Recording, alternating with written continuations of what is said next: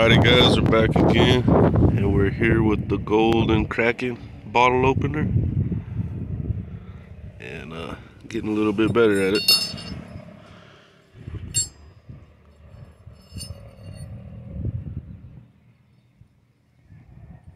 I think it came out pretty good guys.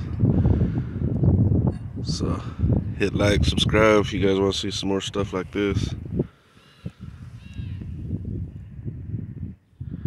Is gonna go to a very good friend of mine,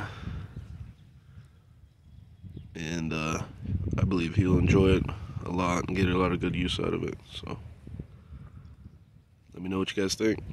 The Golden Kraken bottle opener.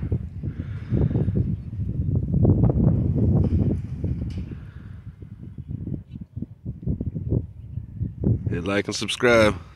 Thanks, guys.